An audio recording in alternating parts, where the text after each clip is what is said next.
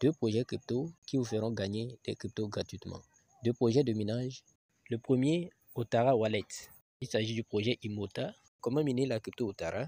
Si vous voulez miner, vous allez cliquer sur Otara. Ensuite, coupez juste miner la crypto. Tapez pour miner, cliquez dessus et lancez le minage. Vous aurez la chance de regarder une publicité pour doubler vos gains en crypto.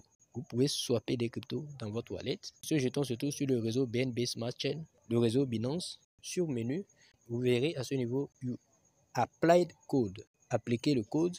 Je vais laisser mon code dans la description. Copiez le code, entrez le code et cliquez sur Appliquer. Et vous allez gagner des cryptos au Tara gratuitement.